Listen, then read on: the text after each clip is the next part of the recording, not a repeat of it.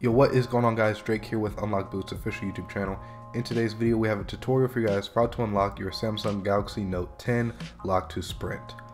So no matter which type of Sprint Note 10 you have, whether it's the Plus, the regular, this will work. Just follow along and you'll easily be able to unlock your phone. Let's get right into it. First, we will need the IMEI number on your phone. This is a 15 digit number and it can be found by going to your dialer app typing in star pound 06 pound, and then you'll get a 15 digit IMEI number. Keep this number somewhere safe as we will need it on our website. Next, we will want to go to our website and the link will be down below, store.unlockboot.com. Once you are here, find the Samsung Unlock section, go ahead and click that, and then click the Any Model, Any Carrier Samsung Unlock. Once we're on the screen now, we're going to choose the model in which we are unlocking. So here I'm going to find the Sprint S10 and it says Sprint slash Verizon slash T-Mobile. So we're going to click this one and insert in our IMEI number. Once you have these numbers in, go ahead and complete checkout. After completing checkout, you will then receive an email from Unlock Boot support and it will say that you have a new note added to your order. Pretty much this explains exactly what we need to do to unlock the phone and we will need to use our remote unlock service via our USB redirector program.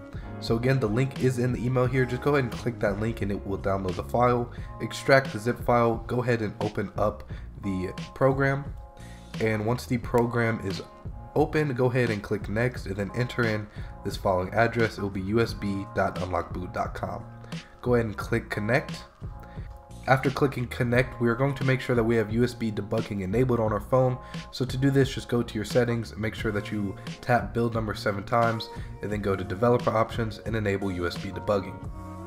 After that, go ahead and connect your phone to the computer and connect with us on live chat and we will complete the unlock remotely and it will take less than 10 minutes. Once this is complete, go ahead and restart your phone, put in the SIM card from any other carrier that you would like to, turn it back on. Once the phone is on, you can now go ahead and make a text or phone call to check to see if the phone is indeed unlocked, and it is.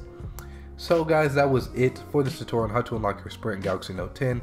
If you guys enjoyed, please leave us a thumbs up. We'd greatly appreciate it on the Unlock Boot YouTube channel. Signing off, is Drake. We'll see you guys in the next video. Peace.